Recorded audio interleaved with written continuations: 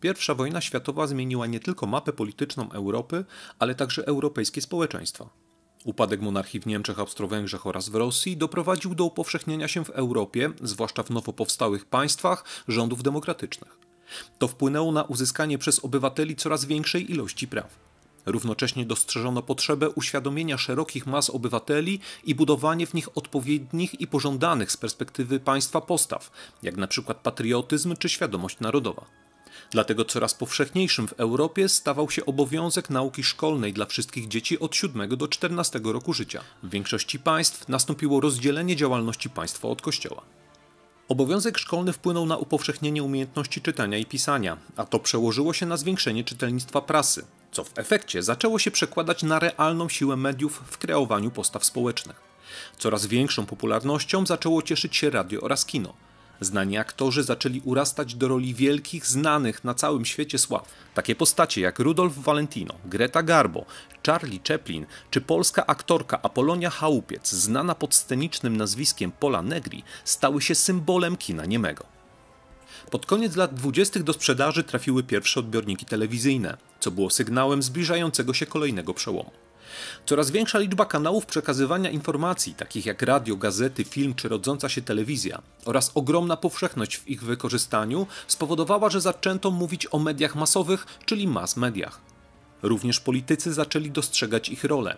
I o ile w państwach demokratycznych wykorzystywane były głównie do przekazywania informacji oraz rozrywki, to w państwach totalitarnych stały się narzędziem w procesie indoktrynacji społeczeństwa, czyli systematycznego i natarczywego wpajania pewnych idei.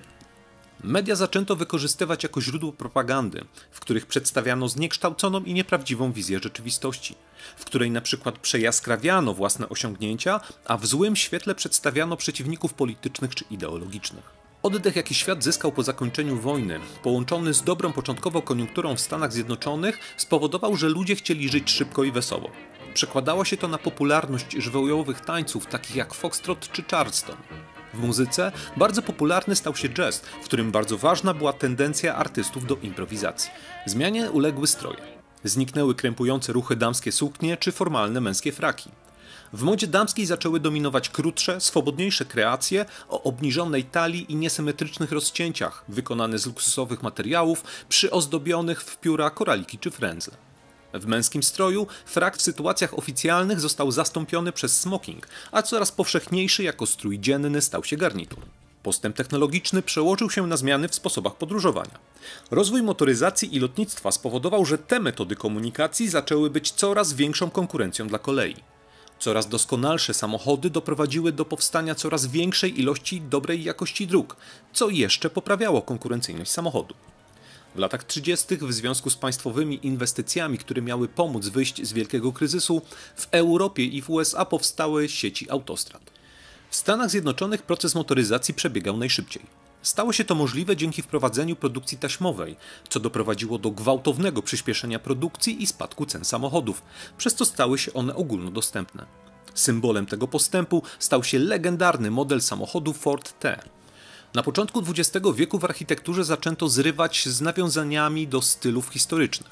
Pojawił się modernizm oraz jeden z jego nurtów, czyli funkcjonalizm, w którym decydująca była prostota i funkcjonalność budynków.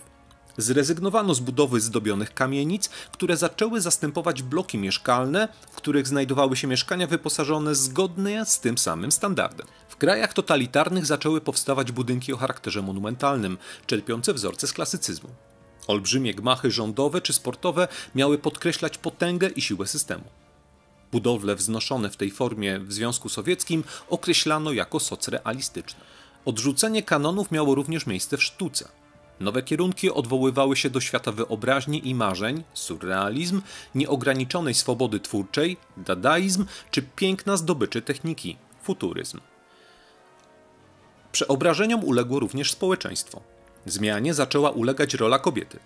Pierwsza wojna światowa spowodowała, że kobiety w związku z pobytem mężczyzn na wojnie zaczęły wykonywać prace do tej pory dla nich niedostępne, jak na przykład w przemyśle zbrojeniowym, a zdecydowanie więcej kobiet niż do tej pory zaczęło aktywność zawodową.